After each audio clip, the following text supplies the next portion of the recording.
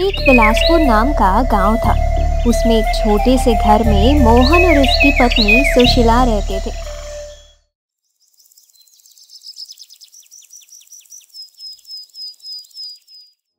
जी हम लोग आज फिर क्या खाएँगे? दाल चावल सब खत्म हो गया है।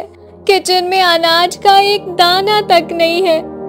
भाग्यवान मेरी जितनी भी जमा पूंजी थी सब खत्म हो गई। अब एक पैसा नहीं बचा मेरे पास। मैं रोज काम ढूँढने जा भी रहा हूँ पर कोई काम नहीं मिल रहा है मुझे। लगता है हमें आज फिर भूखा ही सोना पड़ेगा।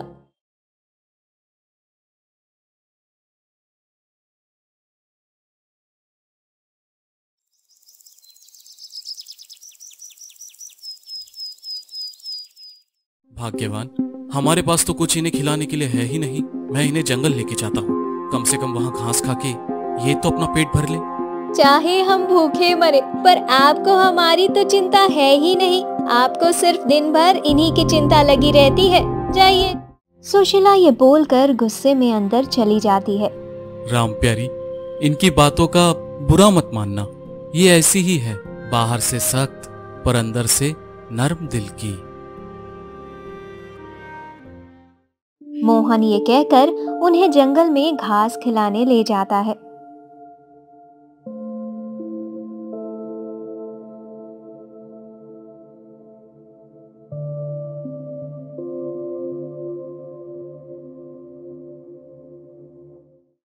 मोहन जंगल से लौटने के बाद रोज की तरह काम ढूँढने शहर की ओर निकल जाता है। रोज अपनी बकरी को जंगल से खिला करके लाता और खुद भूखा प्यासा काम ढूँढने निकल जाता।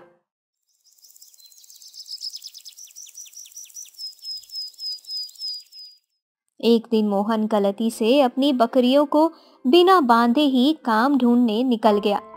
मोहन के जाने के बाद राम प्यारी के दोनों बच्चों ने घर में घुसकर बचा हुआ कल का बासी रोटी, जो कि उसकी पत्नी ने आज रात के खाने के लिए बचा के रखा था, वो खा गए। हाय हाय। अरे, ये कम बकरी के बच्चे ने हमारे सारे भोजन को खा लिया।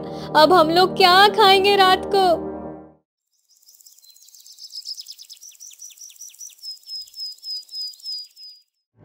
सुशीला राम प्यारी के दोनों बच्चों को कसाई घर में बेच आती है।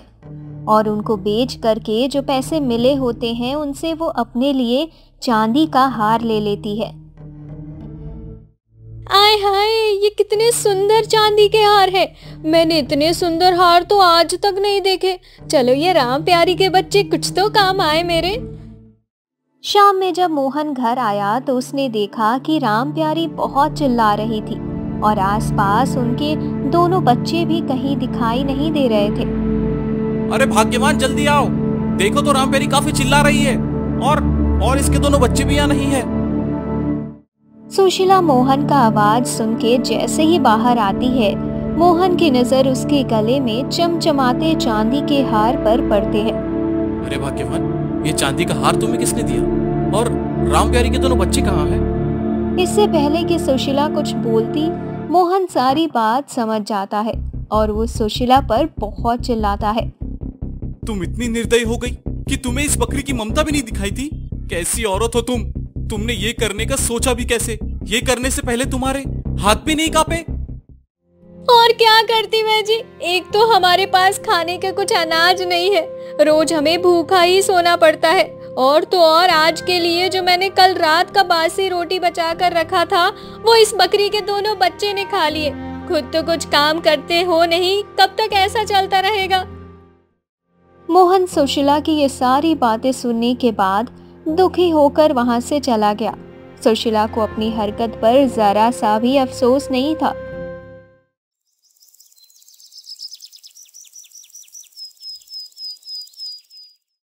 कुछ दिन बीत गए।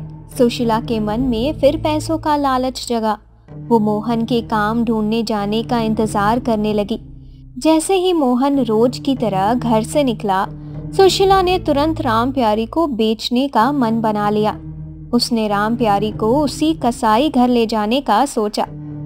चल राम प्यारी, तुझे मालिक की सेवा करने का एक मौका मिला है। सुशीला जैसे ही राम प्यारी को ले जाने के लिए खोलती है, राम प्यारी रस्सी छुड़ाकर वहाँ से भाग जाती है और सुशीला भी उसके पीछे पीछे दौड़ पड़ती है। अरे अरे अरे राम प्यारी, अरे! दोनों भागते भागते जंगल के बीचों बीच पहुँच जाते हैं। वहाँ उनकी नज़र दो चोर पर पड़ती है, जो उन्हीं की ओर देख रहे होते हैं। Boss boss. उस औरत के गले में चमचमाता हुआ चांदी का हार दिख रहा है। हाँ बे बस एक बार वो चांदी का हार हमारे हाथ लग जाए फिर तो मज़ा ही आ जाएगा। आजा चल पकड़ते उसको। ये कहकर दोनों चोर सुशीला की ओर दौड़ पड़ते हैं। दोनों चोरों को अपनी ओर बढ़ता देखकर सुशीला घबरा जाती है और आनन फानन में जान बचाने के लिए भागने लगती है। दोनों जैसे ही उस पर झपट्टा मारने की कोशिश करते हैं, उसकी वफादार बकरी दोनों पर ही अपने सिंग से हमला कर देती है और दोनों को नीचे गिरा देती है।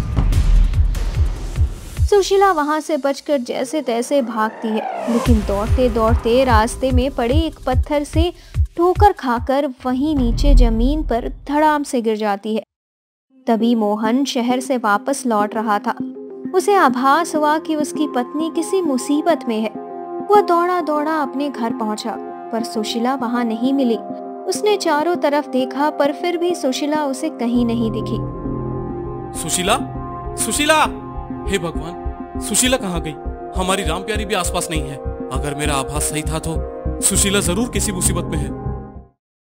चारों तरफ़ ढूँढने के बाद मोहन जंगल की तरफ़ भागा। मोहन जैसे ही वहाँ पहुँचा उसने देखा कि दो चोर सुशीला पे हमला करने ही वाले हैं। उसने अगल बगल नज़र घुमाई और सामने पड़े नारियल से उनमें से एक चोर को ज़ोर से फेंक कर मारा। किसने किया ये? बॉस उसने? पकड़ो उसको! आज इसको ज़िंदा नहीं छोड़ना है।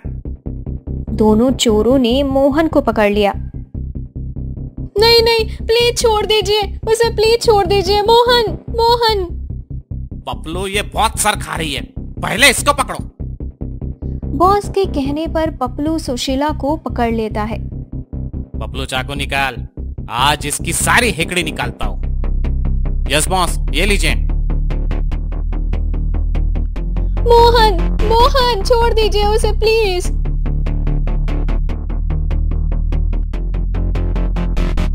वो जैसे ही चाकू से मोहन को मारने जा ही रहा होता है, वैसे ही उन्हें पुलिस की सायरन सुनाई देने लगती है और वहाँ पुलिस आ जाती है।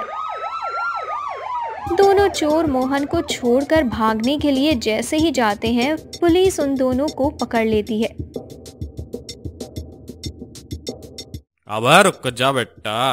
इतनी भी क्या जल्दी है? हम्म चल, तुझे तेरे मौसी के घर सैर करवा के लाता हूँ। कांस्टेबल डाल दोनों को गाड़ी में। चल अबे चल। सर के चंगुल से बच पाना नामुमकिन है।